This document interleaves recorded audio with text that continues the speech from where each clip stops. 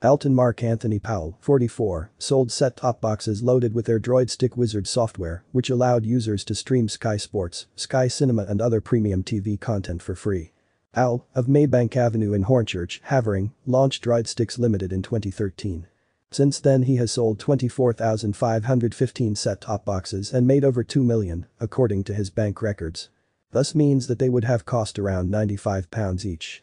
The large number of set-top boxes on the market triggered a police investigation, and Powell was arrested.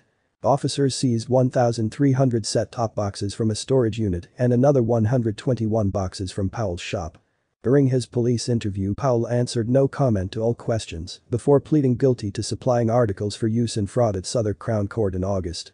He was sentenced to two years and six months imprisonment at the same court on Friday, November 11. Detective Sergeant Peter Gartland said. Powell attempted to hide the illegitimate nature of his business by concealing evidence that he was selling products pre-configured to stream Sky Sports and Sky Cinema. However, officers were able to prove he was aware the set-top boxes were being used for this purpose by thousands of customers. It is vital to remember that watching premium content without a subscription is illegal, and enabling access to it can land you with a criminal record, as this case shows. Matt Hibbert, Sky's director of anti-piracy, said. We'd like to thank Police Intellectual Property Crime Unit for their support in bringing this case to a successful conclusion. The financial sums involved and the length of the sentence handed down today underline the seriousness of this type of criminality.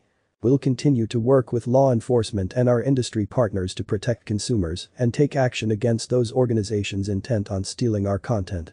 The Crown Prosecution Service confirmed it will commence proceedings for confiscation orders against any available assets.